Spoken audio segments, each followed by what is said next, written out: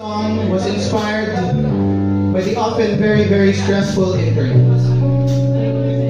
In short, this next song is inspired by all of you. The song is called Something Else.